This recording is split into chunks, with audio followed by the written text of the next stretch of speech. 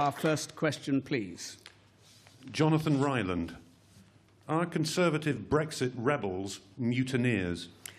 This was what Howey described in a big front page piece in the Daily Telegraph. Nine uh, Conservative MPs, seven of them former ministers, two chairmen of committees, and it caused quite a stir for obvious reasons. Uh, Owen Paterson.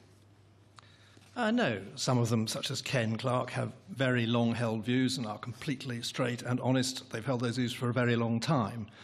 I think the problem we have as a country is that we have a constitutional first.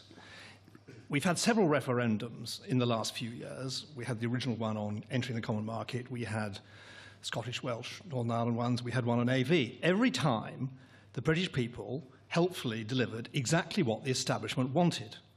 This time, they haven't. We've had the largest vote in British history, the largest majority in British history, bigger than any general election, to leave. And this has gone against the wishes of the political establishment, the media establishment, the industry establishment, the financial establishment, and the legal establishment. And the establishment finding it very, very hard to swallow.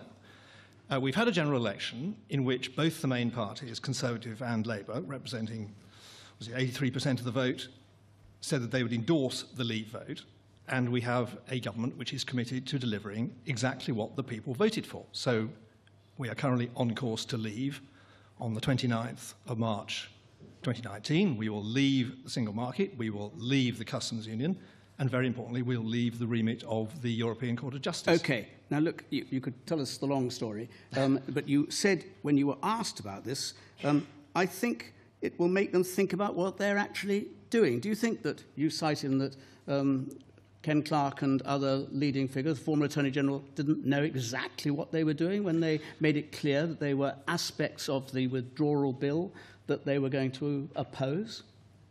Well, no, I think Ken's a really good one to name because he, he's a very strong believer in parliamentary democracy. He, he doesn't believe in referendums. But this is a phenomenon. This is a, this is a new constitutional event where the, referendum has gone against the wishes of the establishment, and Ken is a very great establishment figure. And, and you, one, one more thing. Um, you, you believe that it's a mistake, which is one of the key areas of disagreement within the party, um, to uh, make a to say that there shouldn't be a fixed time that if negotiations reach close to the edge of what is regarded by some as a cliff edge, not by you, that therefore more time, if the EU 27 agree, should be given to finalise a deal that would work. That, that is wrong, you think. The, the deadline should be a guillotine. Well, I'm surprised the date has become such an issue because on the last vote, 494 MPs voted to trigger Article 50, which means there is a mandatory two-year period. With the right to extend. With ends, the right to extend. Which, yes, but you've got to, you'd have to repeal the bill. You'd have to go all around Europe and get everyone else to agree. Personally, um, I think having the date in gives clarity, and everywhere I go now, businesses, whether I think, find if they're saying remain or leave, I, we did a big conference in Malvern last night amongst the farming community who voted about 60-40 to leave. The remainers are now saying, just get on with it. We want to know where we're going, and I think having this date in the bill actually is sensible, because we must bring compression to these negotiations. We've uh, got to get on to the end status, the, the economic arrangement we're going to have with our neighbours. Uh,